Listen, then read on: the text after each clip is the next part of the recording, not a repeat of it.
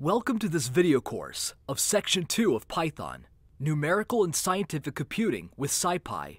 In this section about Python, we'll be covering an overview of Python in engineering and scientific computing, also Python and the IPython, now Jupyter, notebook. Moving on to the first video of this section, we'll be dealing with an overview of Python in engineering and scientific computing. Specifically in this video, we're going to take a look at a general presentation on how Python has been extended to be used in science, to be used in science and engineering fields.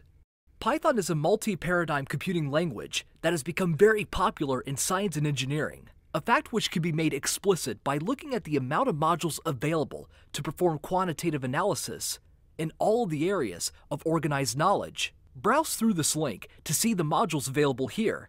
A few of them, which we're studying in this video course, are NumPy, SciPy, and Matplotlib. We should point out, however, that many other available resources are not listed in this website.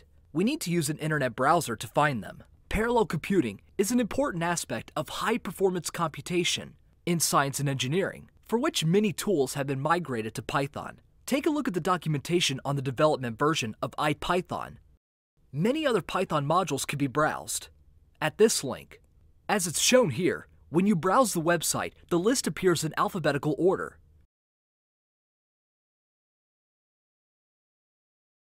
Once we've finished this brief tour on the modules of Python, you might be wondering on the minimum setup necessary to perform computational tasks on your own in Python. This is provided by four modules. 1. NumPy, which includes among other functionalities, fast, memory efficient, and high performance, and high performance multi-dimensional array structure, ND arrays for efficient computing via vectorized arithmetic operations. 2. SciPy, which includes high performance functions for scientific and engineering computing, taking advantage of the high performance NumPy arrays, on which SciPy has a strong dependency. 3. Matplotlib, for visualization of data. And finally, 4. SymPy, for symbolic computation. We'll be covering NumPy, SciPy, and Matplotlib in this video course. In a few cases, we'll use SymPy to show some results.